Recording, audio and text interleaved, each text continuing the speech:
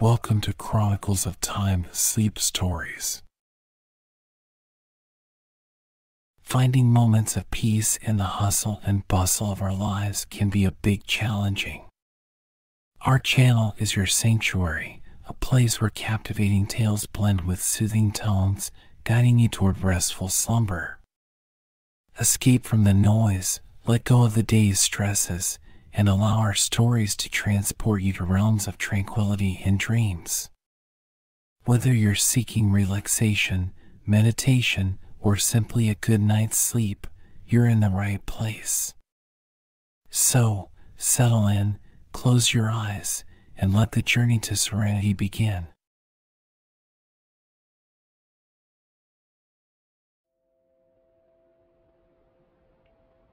In our unceasing journey through the corridors of life, moments of pure, unadulterated tranquility can sometimes seem as elusive as shadows at noon.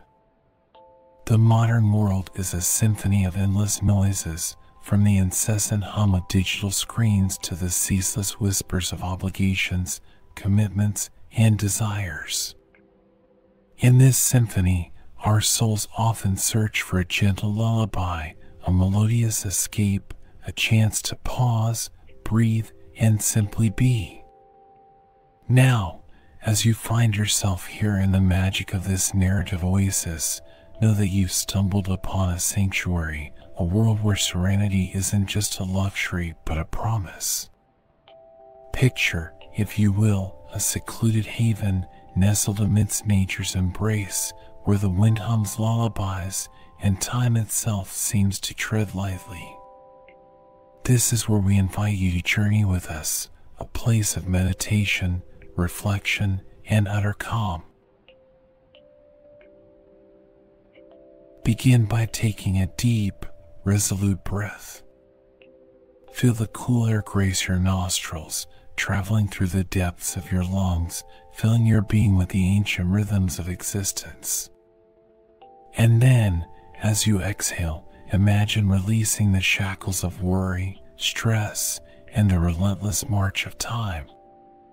Each subsequent breath is a step deeper into the heart of tranquility, a dance with the universe, an affirmation of the present moment.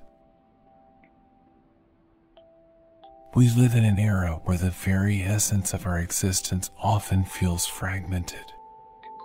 Pulled in myriad directions by demands, expectations, and the invisible threads of technology, it's easy to lose oneself. But these tales, each a gem sculpted from the rich tapestries of imagination and insight, seek to offer you a bridge. A bridge not just to sleep, but that in itself is a cherished realm of restoration, but to a state of soulful relaxation where the world narrows down to the here and now, where every heartbeat is a reminder of life's simple beauties. These stories are not just words. They are portals. They beckon you into worlds where the pace is gentler, the colors more vivid, and the sounds harmoniously aligned with the rhythms of the cosmos. Here, amidst these tales, you'll find characters and landscapes that resonate with the deepest parts of your psyche, invoking a sense of familiarity and nostalgia. They're like old friends or forgotten dreams, waiting to welcome you back. As you immerse yourself in these narratives, let the outside world fade into soft focus. Envision your stresses and anxieties as leaves carried away by a gentle stream, disappearing beyond the horizon. Let the weight of expectation, the clamor of responsibilities, and the noise of uncertainty be replaced by the soothing cadences of these stories. Every word, every phrase is a brushstroke painting a world of peace, inviting you to step in and explore. Sleep, that precious gift, is not just a physical necessity but balm for the soul. It's nature's way of healing, restoring, and rejuvenating. As you stand at the threshold of dreams, these tales are the gentle hands guiding you towards restful slumber. They remind you of the beauty of surrender, of letting go, of drifting into the comforting embrace of night. So, dear listener, as you embark on this journey with us, know that you are not alone. Through the magic of these tales, we are with you, sharing in your quest for tranquility and deep, restorative sleep. Let these stories be your anchor, your lighthouse, guiding you away from the tempests of daily life and into the calm waters of relaxation and dreams. Welcome to our sanctuary. Let the journey to serenity begin.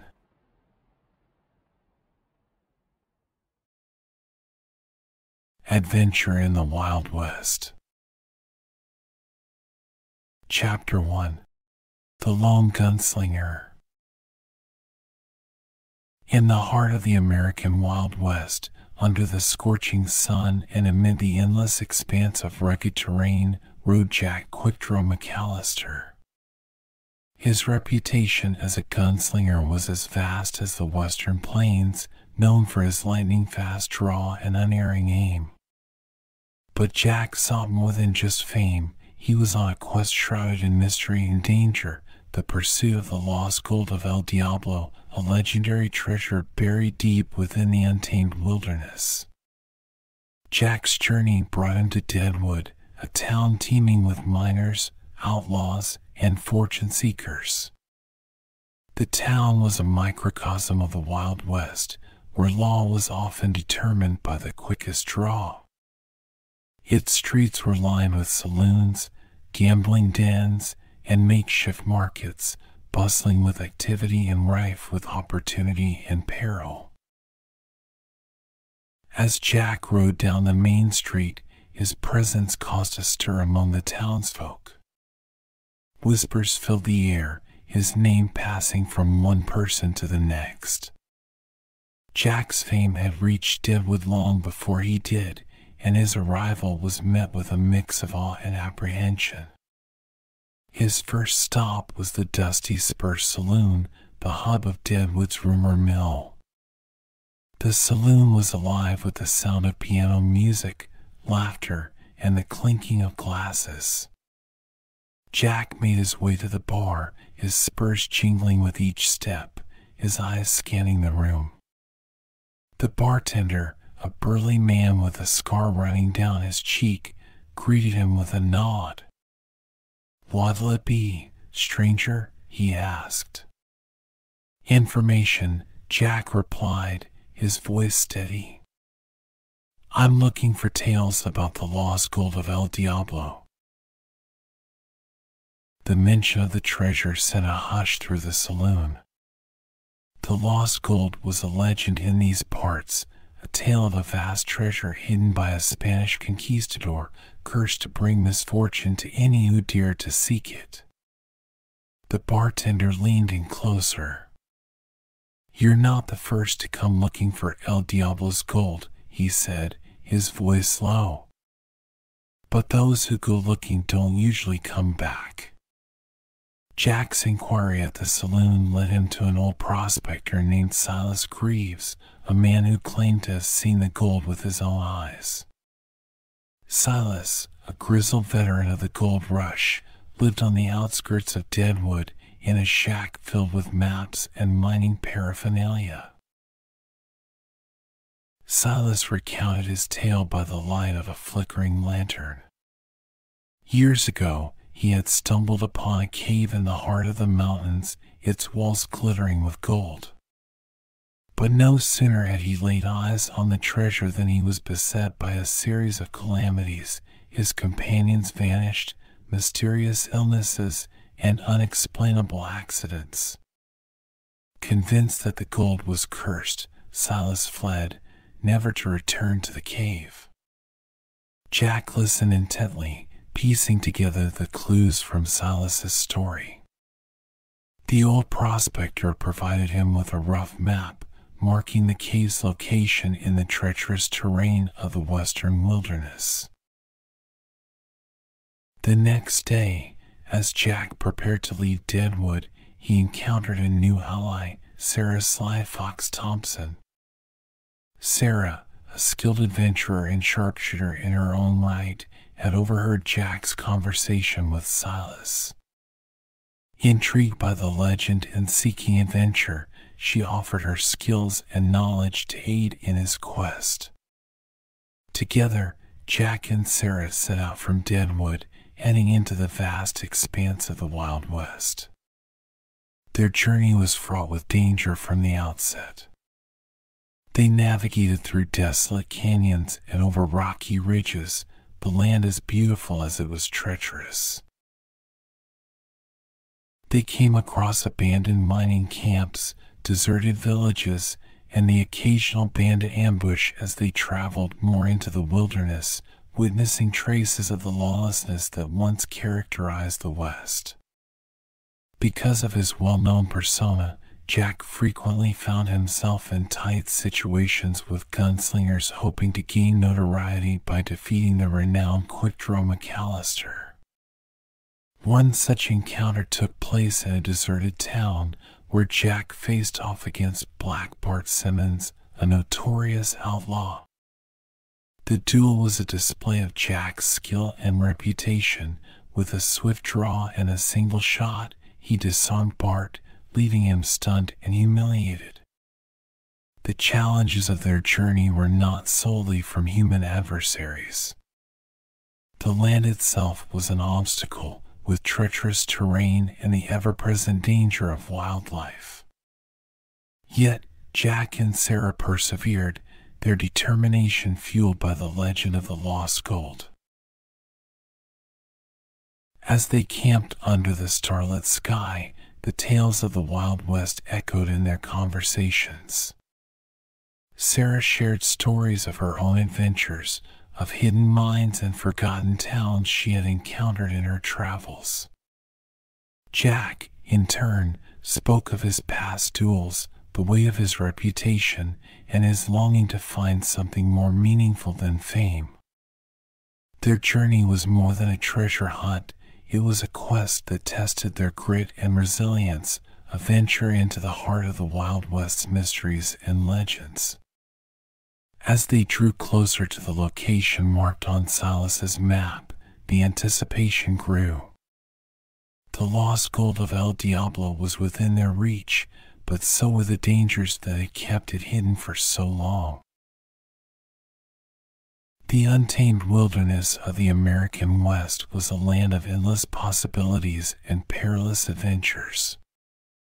For Jack Quickdraw McCallister and Sarah Sly Fox Thompson, the journey to find the lost gold of El Diablo was a testament to their courage and spirit of adventure.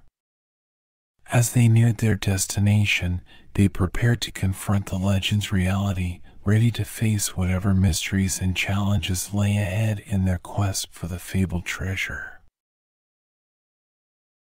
Chapter 2 Unleashed Legends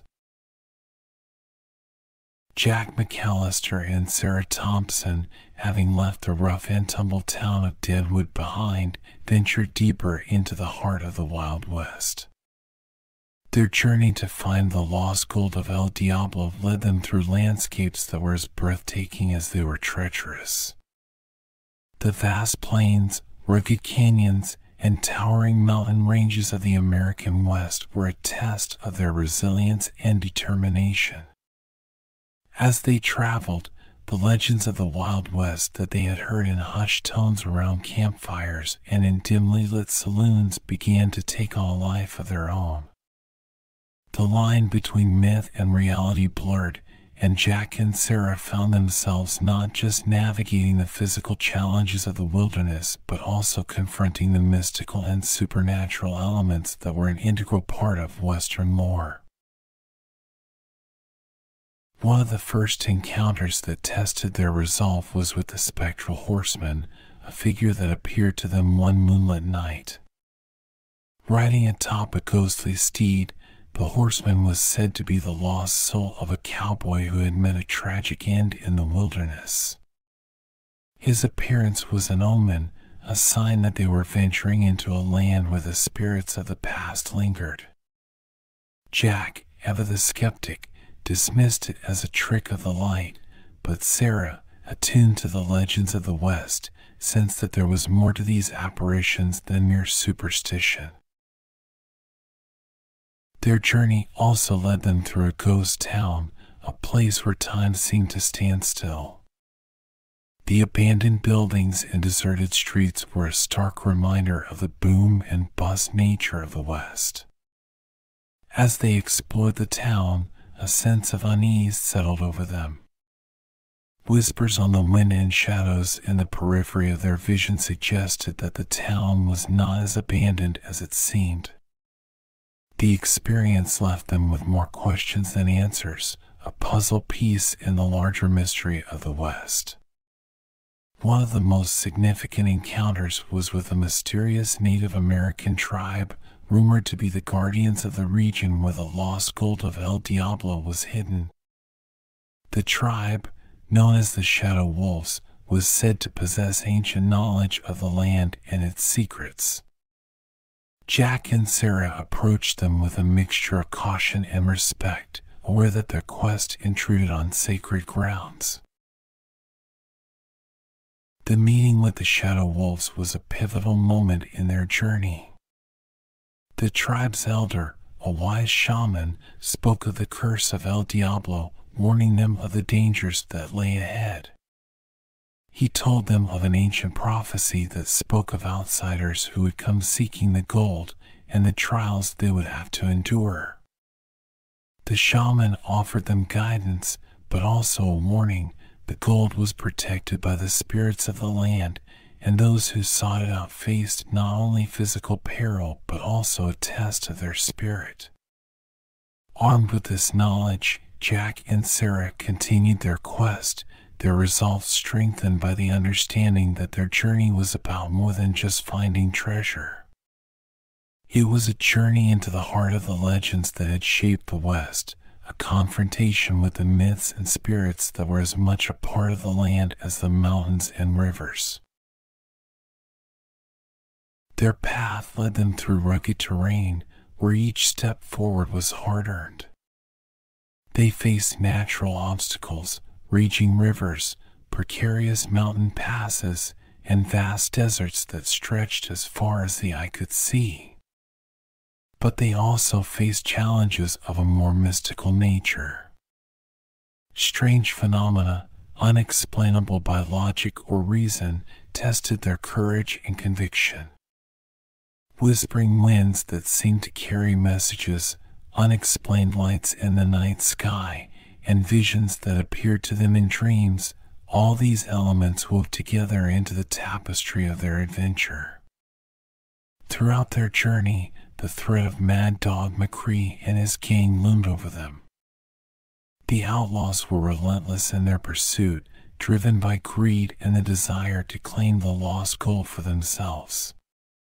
Jack and Sarah had to be vigilant, their eyes always open for signs of McCree's men. As they neared the location of the lost gold, the challenges they faced intensified. The land became more unforgiving and the legends more vivid. They encountered a valley where the bones of animals and men alike littered the ground, said to be a place where the spirits of the West exacted their vengeance on those who dared to trespass. They traversed a canyon where the echoes of their voices seemed to carry conversations from another time, the whispers of the past bleeding into the present. One night, camped under the vast canopy of stars, Jack and Sarah shared their thoughts on the journey they had undertaken. They spoke of the legends they had encountered, the beauty and brutality of the West, and the elusive nature of the lost gold. They realized that their quest was not just a search for treasure, but also an exploration of the mystique and allure of the Wild West. Finally, after weeks of travel and countless trials, Jack and Sarah arrived at the heart of the wilderness where the lost gold of El Diablo was said to be hidden. The location, marked on an ancient map they had acquired from Silas Greaves, was a secluded valley surrounded by towering cliffs. The air was heavy with anticipation as they prepared to uncover the treasure that had been the source of so many legends. But their arrival had not gone unnoticed. Mad Dog McCree and his gang had followed them, ready to stake their claim on the gold. A confrontation was inevitable, a showdown that would not only determine the fate of the lost gold but also the true character of those who sought it. The Wild West, with its unforgiving landscapes and mystical legends, had been the backdrop for their adventure, a journey that tested their strength, resolve, and understanding of the myths that define this land. As Jack and Sarah stood ready to face the final guardians of the lost gold, they knew that their saga was one that embodied the spirit of the West, a tale of bravery, mystery, and the eternal quest for fortune and glory. Chapter 3 Treasure and Treachery In the shadow of the towering cliffs that guarded the secluded valley, Jack Quickdraw McCallister and Sarah Sly Fox Thompson stood on the brink of unraveling one of the Wild West's greatest mysteries. The lost gold of El Diablo, an elusive treasure shrouded in legend and bloodshed, lay somewhere within their grasp. Their journey had been long and fraught with peril, both natural and supernatural, and it all led to this moment. But as they prepared to delve into the heart of the valley, they were not alone. Mad Dog McCree and his gang of ruthless outlaws emerged from the shadows, their eyes gleaming with greed and malice. McCree, a notorious figure in the West, known for his brutality and cunning, was determined to claim the lost gold for himself. A tense standoff ensued, with Jack and Sarah facing the outlaws under the vast expanse of the western sky. Words were exchanged, threats made, but it was clear that the dispute over the lost gold would not be settled with words. It would be settled in the way of the West, with gunpowder and lead. Knowing that the cards were stacked against them, Jack and Sarah came up with a plan. They prepared for a confrontation that would put their resolve to the test like never before by using their cunning and the abilities they had developed on their journey. Tension was evident and the air was heavy with expectation. The first shot rang out, echoing against the cliffs, and chaos erupted. Gunfire filled the air as Jack and Sarah battled against McCree's gang. Jack's reputation as quick draw was evident as he moved with lethal precision, his revolver a blur. Sarah, equally adept, used her sharpshooting skills to even the odds. But the outlaws were relentless, and the battle raged on.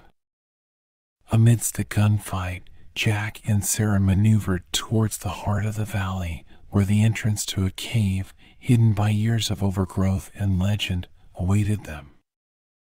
This cave, according to the map and the stories they had gathered, was where the lost gold was hidden. Inside the cave, the air was cool and damp, a stark contrast to the heat of the battle outside. They navigated through narrow passages and descended into the depths of the earth, the weight of the mountain above them. The walls glistened with mineral deposits, and the sound of dripping water echoed in the cavernous space. As they ventured deeper, they came across markings and symbols on the cave walls, remnants of those who had come before them, seeking the same treasure. These markings told a story of greed, ambition, and the curse that the gold carried, a curse that had brought ruin to many. Finally, in the heart of the cave, they found it, the lost gold of El Diablo. The treasure was as magnificent as the legends had described piles of gold coins, ornate jewelry, and precious stones, all glinting in the dim light of their torches. But alongside the treasure lay the bones of those who had fallen victim to the curse, a grim reminder of the gold's dark history. As Jack and Sarah beheld the treasure, the reality of their quest settled upon them. They had sought the lost gold as a means to an end, for Jack, a chance to leave behind his life as a gunslinger, for Sarah, an adventure that would cement her place in the annals of the West. But now, faced with the reality of the curse, they questioned their pursuit. Their contemplation was cut short as Mad Dog McCree and the remnants of his gang found their way into the cave. A final confrontation ensued, a battle not just for the gold, but for survival. McCree, driven mad by his lust for the treasure, fought with a ferocity that was unhinged. In the end, it was Jack's skill and Sarah's cunning that prevailed. McCree met his end in the cave, a victim of his own greed. With the outlaws defeated, Jack and Sarah faced a crucial decision what to do with the lost gold of El Diablo.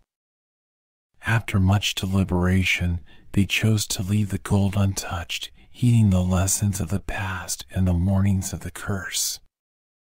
They realized that some treasures were better left undiscovered their value lying in the legends and stories that surrounded them. Jack and Sarah emerged from the cave, leaving the lost gold in the heart of the mountain. They exited to find the western sky painted with the hues of dusk, the echoes of the gunfight, and the allure of the gold behind them. As they rode away from the valley, the burden of their quest lifted, they reflected on their journey. They had traversed the Wild West, faced its legends and mysteries, and emerged with a deeper understanding of themselves and the land that they had ventured through. Their adventure had been more than a treasure hunt, it was a journey into the soul of the West, a land where legends were as real as the dirt underfoot, and where every man and woman had a story to tell. The Wild West was a place of endless possibilities, a place where the line between hero and outlaw was often blurred, and where the tales of adventure and daring would be told around campfires for generations to come. Jack Quickdraw McCallister and Sarah Sly Fox Thompson rode into the horizon, their names etched into the lore of the West. They had sought the lost gold of El Diablo and found something far more valuable a bond forged in adversity, and a shared respect for the land and its legends. As the stars began to twinkle in the night sky, their silhouettes disappeared into the vastness of the west. Their story, a tale of adventure, courage, and the enduring allure of the Wild West, would live on a testament to the spirit of those who dared to venture into the unknown in search of fortune, glory, and the thrill of the journey.